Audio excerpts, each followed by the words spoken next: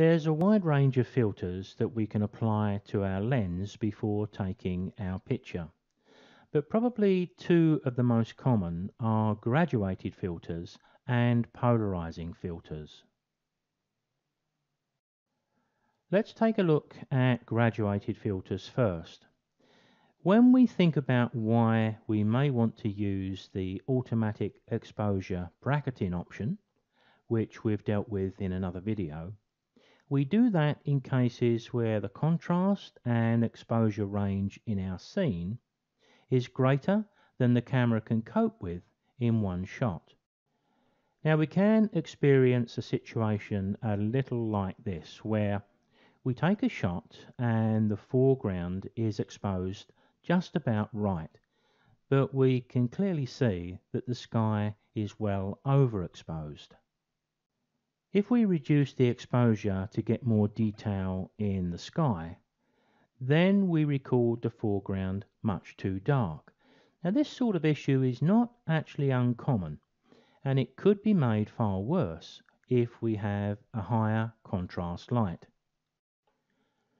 So there are two ways to address this issue. One is via the auto exposure bracketing and use of our image editor.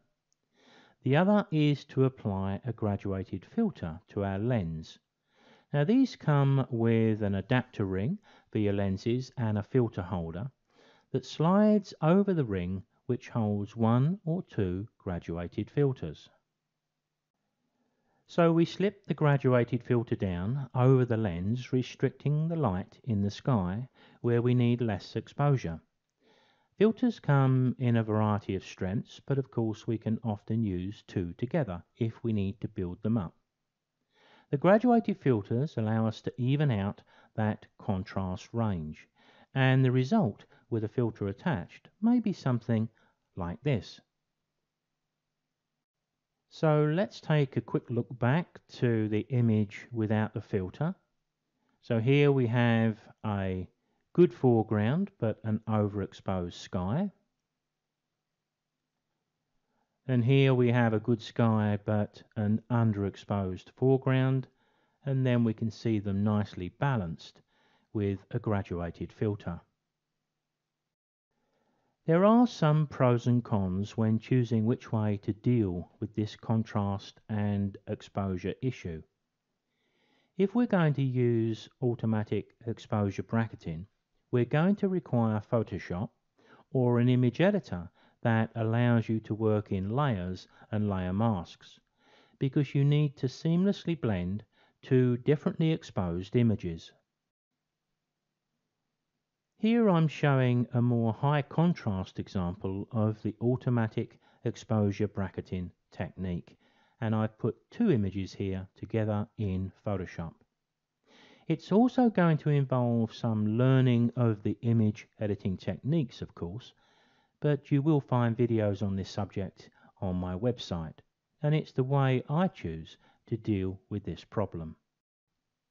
Graduated filters can negate the need for image editing via layers and masks, but of course graduated filters come at a cost. You also have to carry them and you have to apply them to the lens. In theory, that's no problem, but in practice, it can get just a little bit of a nuisance, especially if you're in a location where putting your camera bag down to get out the filter, the adapter ring, and the holder is a little bit tricky. So I think this boils down to a personal choice. The other filter that's probably I think even more useful than these is a polarizing filter. Most people will be familiar with the effects of polarizing sunglasses and the filters we apply to our lens are applied for much the same reasons. Once they're added to the lens we can turn them to get the right angle of light and we can see the effect clearly through the viewfinder. Once we've done that, they are great in reducing glare from reflected surfaces and of course especially water. They can make white clouds really stand out from the blue skies. They can often give colours that little extra richness which is quite appealing in our photographs and they work best when turned 90 degrees to the sun. Some photographers even use them in overcast conditions, especially when they're shooting pictures in the forest, because the polarizing filter can reduce reflections from leaves. Polarizing filters will reduce the light falling on the sensor by at least one stop.